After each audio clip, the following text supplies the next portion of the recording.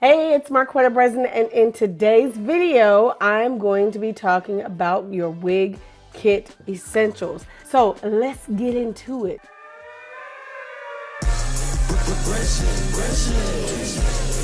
in the speaker. Master stylist using every gift I got to teach you. Just wanna reach you with life changing motivation. This is key. You can live wealthy, but know the greater is He. It's B. Now, this video is for those of you who make wigs and who also ventilate. If you ventilate, this is going to be the baseline suggested wig kit for you. I'm pointing this way because I have the tools listed here on my screen so that I don't miss anything. All right, so let's get into it. Starting with number one is going to be obviously your wig block. Now, when I teach at my live events, I always talk about the importance of having different size wig blocks and purchasing wig blocks from different manufacturers because they're all shaped differently. And guess what? Everybody's head is shaped differently as well. Some people have what we call an egg head, which is a pronounced occipital bone. Um, other people have a flat occipital bone area.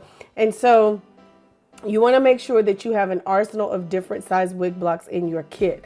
But if you're just beginning, having one wig block is going to do you just fine. These are just things that I want you to think about, not anything that I want you to just be like, dang, I don't have this. Or gosh, I can't start because I don't have this item. All right.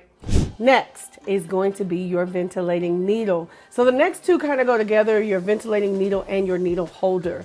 So the ventilating needles come in multiple sizes and there's different styles, if you will. You have your German needles, which are long and flat with an, an, a hard angle.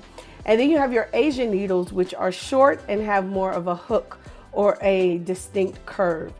At the end of all of those needles is a teeny, teeny, tiny, tiny, tiny little thing. It's like a little nick, and it's called a barb.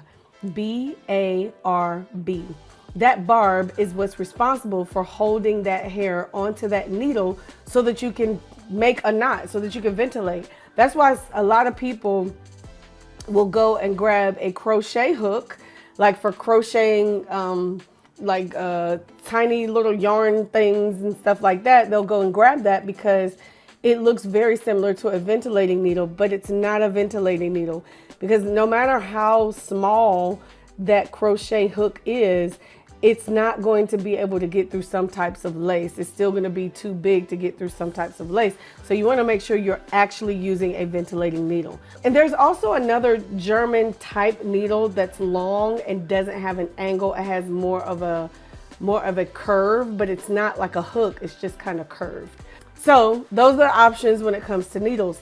Then you have your different holders. You have your plastic needle holders, you have your brass needle holders, you have your aluminum needle holders, your wooden ones, and I'm trying to make sure I hit them all. And I think that's it. But now there's something else that is the thing that I like to use, and that is the bamboo holders that have the needle made into the holder. I like those because I don't have to keep up with two separate things. I don't have to keep up with needles and the holder. I can just keep up with the one thing. The size is stamped on them and it's great. All right, each size of needle is an oct, a different oct, OCT. Each oct corresponds with the number of hairs that that needle is designed to pull. So if you have a three oct needle, it's designed to pull either two to three hairs or three to four hairs, depending on the manufacturer. They will tell you the size when you purchase the needles, but you definitely need to have uh, several in your kit. Your smaller needle sizes are going to be used for anything that you're going to be using film lace for. So if it's the hairline or if it's in the nape of the neck or any type of detail work you're doing, that's when you're going to use your 01 or 12. If it's anything bigger than that, that's typically going to be used on your base lace or somebody, some people call it opera lace, which is the lace with the bigger holes. Or if you're doing some chunking, you're chunking a wig out, you can use a bigger needle, a bigger oct needle um, in that area. And those needles that I like to use with the, uh, the needle mate onto them, Um, actually, I'll just give you a list of where to purchase everything below this video. That way I can just keep it moving. Okay, next is going to be a chair, a good chair. Listen, your body is very, it's important to take care of your body when you're ventilating because if not, you can develop bad habits, bad posture. If your neck is down like this the whole time and your arms, and you try to come up after ventilating for an hour or two straight, it ain't gonna feel good. So you need to make sure that you invest, notice I said invest, in a good chair. Um, this particular chair, this is where I do all of my ventilating work. In fact, if I have my tripod, I just slide my chair back, pop my tripod right here, and I work. If not, I put my cradle here and I put my wig block inside my cradle and I work. And that's it. But you want to make sure that you invest in a good chair. My preferred brand is Herman Miller. Herman Miller is expensive. I am not going to lie to you, but I'll put some options down below in the uh, description box of um, maybe one or two options. But if you can swing it, get you a Herman Miller chair. It's to last you for a very long time. It's not to break down or fall apart, and it's very, very comfortable. Uh, another option is you can always go to a store like Relax the Back and sit in different chairs and see what works for you. But that is a very important purchase that you should not uh, skimp on. Okay, moving right along.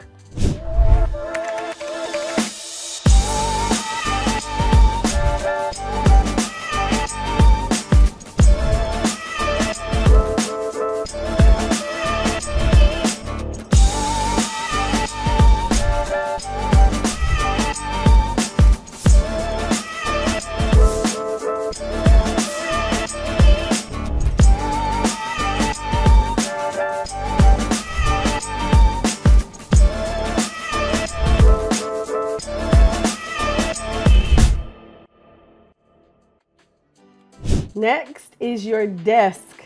That's important because you want to make sure that your desk is stable enough to work on, especially if you're going to be using a cradle. You don't want it to be moving around a lot. Some people just use a kitchen table or something like that, and that's fine. But if you have a wig room or an area where you're going to be making wigs, you need to make sure you invest in a good desk. Honestly, my preferred brand is from Sam's Club, and it's called the Seville Collection. I don't think they make stuff specifically for Sam's. I just so happen to always find it in there. And it's called Seville, S-E-V-I-L-L-E. They have tables, they have storage things, they have some of everything. It's a good height and it fits my chairs perfectly. So I'll link that down below as well. But whatever you do, you want to make sure that you invest in a good desk that's going to be nice, heavy, and substantial. And another thing that I do as well is I put sandbags on my, my desk, especially, because of the way my camera is positioned, because I don't have a tripod. I have like this arm where my camera is positioned. And so I make sure to put sandbags on the, the little railings at my desk so I don't have a lot of movement if I'm hitting my table. All right, so those are just some things to think about. All right, so let's move on to the next item, which is going to be the cradle. Now, a lot of people are like, what is a cradle? A cradle is basically a box that is meant to hold your wig block and it has divots. Some have V's, some have um, little circles or half circles that you can lay your wig block on to adjust so that you can work better. Um, it is perfect for a setting like this. My desk is literally here. My cradle sit here and then my wig block here and it's a perfect height. So it's just an alternative to using a tripod. Um, I designed my own cradle. You can see the B-roll footage playing somewhere uh, where you can see how we designed it. It has handles on it and all of that good stuff. Um, there are other companies that you can purchase cradles from that have different designs um, that serve the same purpose. Um, but definitely investing in a cradle is going to be the way to go because you may not always want to work from a tripod. Okay, moving on to the next one, which is your tripod. Now, tripods, not all tripods are created equal. I have a favorite tripod that I absolutely love to use from Atelier Abbasi, and I haven't found one that's better yet. I like this tripod for a number of different reasons. Number the I guess the, the biggest thing I like the tripod for is because there is a mechanism on the tripod that will expand the part that holds like if this is the hole right here that holds the um that the tripod sits onto sometimes if the tripod hole is like this small and this is this big, it's gonna move and shift. Well, there's a mechanism in this particular tripod where there's a little thing that you turn that has this thing that expands out to fit any size hole for any type of wig block or uh, wig head that you're putting on this tripod. It is absolutely amazing and it can break down and fit into my carry-on luggage. I love this thing. So that is, I mean, that's really one of the only ones that I would recommend investing in because of the functionality.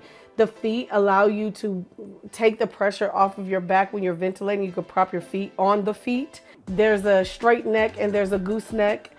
They're both amazing. They are expensive, but it is worth the investment.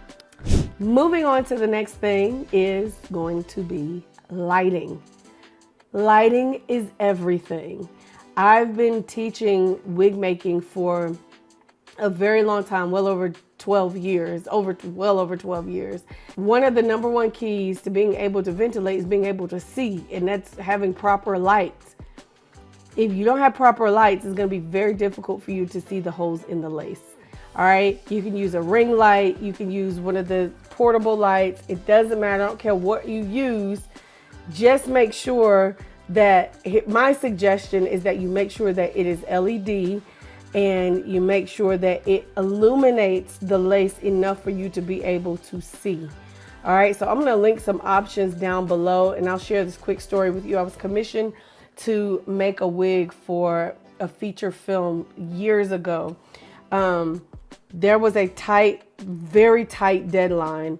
And as I'm sitting there and I'm making this wig and I'm freaking out because I'm getting close to my deadline, I pay no attention to this particular light that I had that I was using. It was not a daylight. It was lights that we used to use in our film studios that was extremely, extremely hot.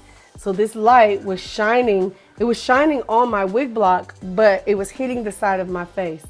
I paid no attention to it whatsoever. I was just working and working. And then when I finally finished, and went to go to bed and closed my eyes for three days, I saw that light.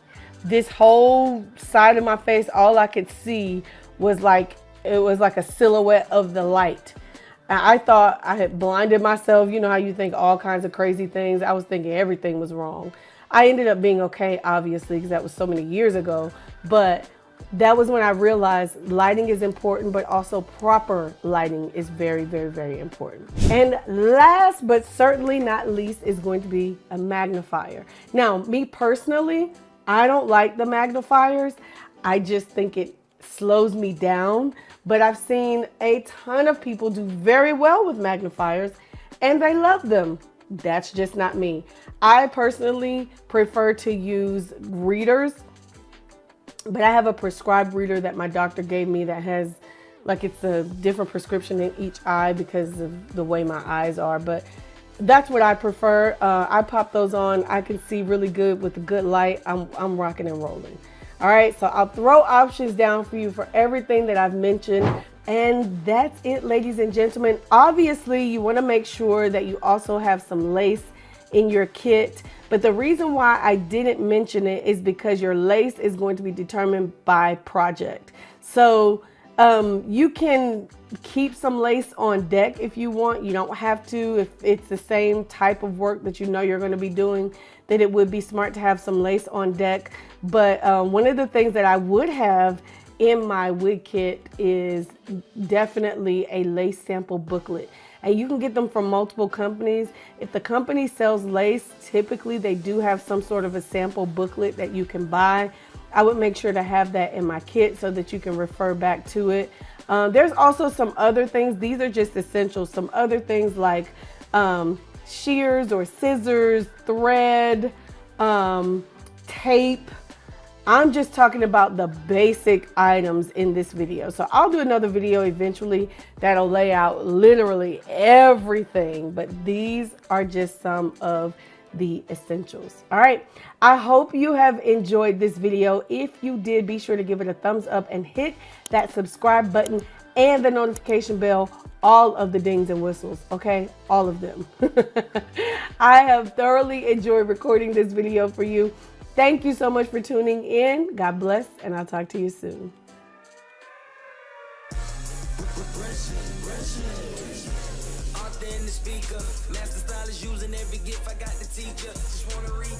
life changing motivation. This is key. You can look wealthy, but know the greater is He. It's my quite a